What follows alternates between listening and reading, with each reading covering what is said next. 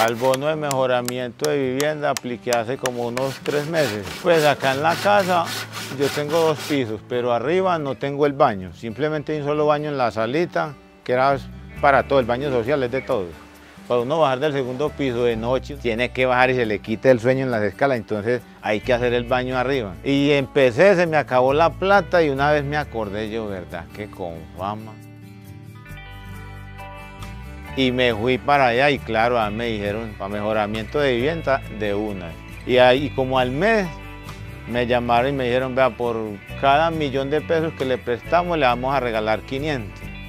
Y yo, uh, a mí que nunca me han regalado nada. Yo llegué acá a San Jerónimo sin nada, con una, como se dice, con una mano adelante y otra atrás. Y mire, ya tengo vivienda que, que no es riqueza, pero no tenerla es mucha pobreza.